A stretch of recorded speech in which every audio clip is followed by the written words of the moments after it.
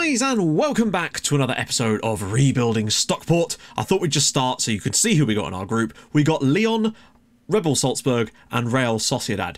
What I would say is that we haven't got like Leon are decent, but they're not like top tier. I feel like this is a group we can get out of. But what I also would say is that there's no real like whipping boy of this group. Red Bull Salzburg are not bad, and Sociedad, well, we know that they've got Christian Orbegozo. Um, I think he's still there anyway. So I, I think it's still going to be a tough group for us. I don't think there's any.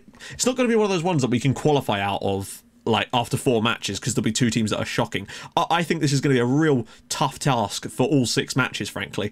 Uh, but I think we're up to the task, basically. In other good news, Jamie Lane now has the new PPM moves into channels, very much like the Liam Miller one uh, that he used to have. And I think that was the final piece of the puzzle. So I think Jamie Lane might well have just gone next level good, and that pleases me. And speaking of Liam Miller, we had a bid for him from Amiens. And it was of like four million pounds with some add-ons. So I counted with 15 and then they put it up to six. So I counted with another 15 and they put it up to seven. So I thought, oh, I'll counter with 15 and then they accepted the goddamn bid. Uh, and at that point, I was like, I don't think we're ever going to get an opportunity. Like, Bill, bear in mind, Liam Miller's contract is up at the end of the year. He won't sign a new one because he wants a new challenge, but he was willing to not go in this summer because I wasn't that sure about it. But in the end, I was like, you know what? If we get 17.75 million for Liam Miller, then I'll bite your hand off, frankly, because he's not going to get in our team at the moment. We've got Anthony Martial as a backup, and I just don't think there was a place for him anymore. Like when he did play last year, he was okay, but he just didn't quite have the impact I would have liked anymore, and he was starting to lose it. And to get seven, nearly 18 million pounds for a player like Liam Miller is an astonishingly large amount of money that Amiens uh, were willing to put on the table. So I accepted the bid, and Liam Miller has moved on. Our record appearance holder has finally moved on from the club, but I felt it was the, the right point in his career. Plus 18 million pounds. Uh, always very nice to get a little bit of moolah for your your buck. Blarth Speetons, hidden team unlocked. Ah, no, no, no, no, no. See, this is uh, stuff from the early days of this save, which clearly you have missed. Uh, back in the day, I used to well, I, I, think I mispronounced it a couple of times accidentally, and then it just sort of became an inside joke to call them Blarth Speetons. Uh, so that's what that's about. Should I be worried that the top ad for this video is bras? No. You should be encouraged buy one. Is September a good time to start a channel? Um, to be honest, there's, there's, never a bad time to start a channel, but I started mine in September, I think. I'm pretty certain I started mine in September 2014, um, which meant that I had a month or so just learning the ropes, playing the game, um, learning how to make videos and whatnot, and I was just making them every night. I can't remember what my upload schedule was like back when I was doing Fulham and um, Pago Youth with the American Samoa Challenge. Remember that? Uh, no, no, you don't. Um, so yeah, it's as good a time as any to start a channel. Always, you know, if you want to do it, take that step and do it because it is fun.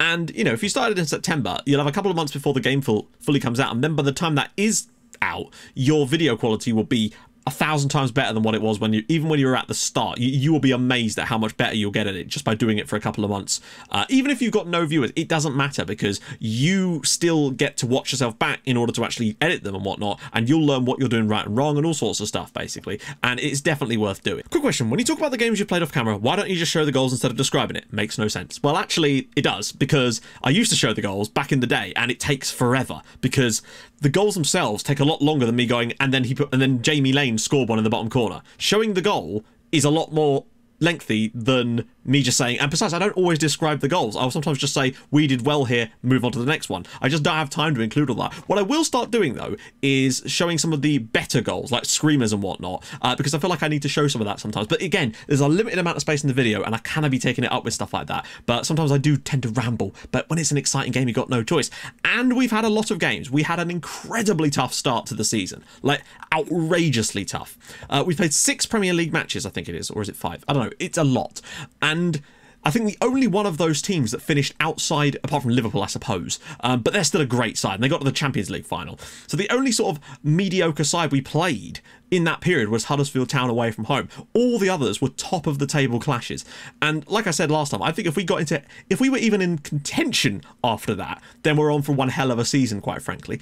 And uh, well, let's see how that went, shall we? First up, away at Leicester. And in all honesty, we did not play well in this one. Slawi gave us the lead early on with a wonderful strike. The ball was knocked down to him by Jamie Lane, pinged it in the top corner. And then Liviu Staiku, Russell Eels had a cross that was deflected. It fell straight to Staiku, who hit it first time, bottom corner, 2 0. And then we just kind of hang on. Uh, Leicester created some good opportunities. We weren't great, but we were still decent and enough to get the victory. And that was pleasing and a clean sheet to go with it. We then followed that up with a very important home win against Chelsea. Early goals again being a, a, real part of our game lately. Jamie Lane gave us the lead. John Villa added a second. They were sort of interchanging goals and assists in this match, if I remember correctly. Um, it was fantastic. Uh, a good home win. Chelsea came back towards the end of the match, but it wasn't quite enough for them. And that was, you know, back to back wins in the Premier League to start things off. Beating Chelsea for the second time this year. Very, very nice to see that one. Um, Meyer, again, was sensational. He's had a bloody good start to the season. Therefore, it was a real shame when we lost 1 0 at home to City. Ah. They had one shot in the first half, and it was their goal. It was Pietro Pellegrini. It was frustrating because for some reason our DM was way too far up the field, and I don't quite understand why because he doesn't have any of those traits, and nor was he set to mark anyone specifically. So I don't understand why Bofa was there, but that's what caused the goal. They did have another second. They did have a shot in the second half, but that was the only real chance of the match. We were definitely uh, up there, and I think we deserved at least a draw from this match, but we probably should have won this too. Frustrating as all hell. John Villa got played through on goal and he missed. Frustrating. But then I think the next game was a bit too much in our favour, in all honesty. Spurs were pretty decent. They didn't create as many chances as we did overall, um, but they had a lot of shots, more from range overall. Uh, we took the lead through Jamie Lane, as you do, but then Andrew Gregory almost immediately put Spurs back in front before Jamie Lane, with a wonderful free kick, made it 2 1. And then in the second half, it was the Julius Meyer show. Jamie Lane was fantastic in this game, though. Two goals, two assists, phenomenal start. Both of Julius Meyer's goals were indirect free kicks, which is hilarious because at the end of last year in the analysis video, I'm pretty certain we didn't score a single indirect free kick the entirety of that season. And then we're going to get two in one game here, both through Julius Meyer. Fantastic performance from him, and a 4 1 victory away at Spurs. That was more like it, and it kind of made up for the City loss a little bit, although I would have a draw would have been so much better because we didn't lose points then. And then in our next away game, bang, away at Huddersfield, fantastic performance on the night. We weren't, this is weird. Again, we started very strongly. Slawi and John Villa getting goals early on in this one, and then the game just kind of tapered off a little bit. Uh, Karius was superb in this one, providing assists, I think, for the Villa goal and for the late Jamie Lane goal, which was fantastic. Got the ball out on the right, whipped it in. Jamie Lane runs across his man, heads it into the bottom corner. Spectacularly good. Uh, Huddersfield obviously struggling, but a 3 0 away win is what I like to see. Everyone just doing their part. And then unfortunately, at home to Liverpool, we this was frustrating again. Early moments in this game, someone missed a header, the ball fell to Ben Woodburn at the back post and he put them in front. And then literally the next moment of the game, practically, they got a corner, ball was whipped in, and Albo, Alberto Pirelli made it 2 0. We then battened down the hatches and just went at them for the rest of this match, but it just wasn't enough. We created a decent number of chances in this game. Kevin Wright missed a one-on-one again. Uh, it's frustrating. And Abasolo did finally get us a goal back, and I thought it was going to be the beginning of a comeback, but it just wasn't to be. Liverpool just have something over us. Obviously, they played a different shape this time because they've got a new manager, but it's still frustrating could have done a lot better. But four wins out of our first six leaves us fifth in the league. And we have beaten Spurs away from home, we've beaten Chelsea, and we've won away at Leicester. Like, there's some good results in there, but the home defeats to City and Liverpool is a bit of a bugger, but sometimes. You know, we've had some res lucky results and whatnot, so it's still not a bad start. And the fact is, we're still perfectly in touch with the teams around us after having such a ridiculously tough start. We're bound to have a slightly easier run soon, and hopefully we can just start winning games, frankly. We've got to defend this title. Jamie Lane already has five assists in the Premier League so far, too, and that is really, really nice to see. He's clearly determined to prove that I was wrong to try and sell him. And Julius Meyer, of course, right up there in the average ratings. He's been defensively fantastic, and going forward, he's been ex excellent as well. You can't really go wrong with old Julius, man, can you? So, today Lyon. Now, we've got a few little injuries. Uh, Niels van Dijk twisted his ankle. Orvegor Sunagor fractured his toe, so he's going to miss. And Sola isn't allowed, uh, isn't able to play either. Eddie Howe is managing Lyon. I just That's amazing. I do feel like, though, this is a this is a group that we should be getting out of. Um, well, we better be bloody getting out of it in all honesty. Uh, we were great in the Champions League last year. We need to really throw everything at it again this season and hope that we can keep that run going. Like, I know we've lost a couple of league games so far this year, but I really cannot stress enough how tough the start to the season has actually been for us because losing to City, City are top of the league, I think, and losing to Liverpool, Liverpool are a much better team than they were last season, and they really gave us a run for our money, even though I still feel like we deserve better from the game.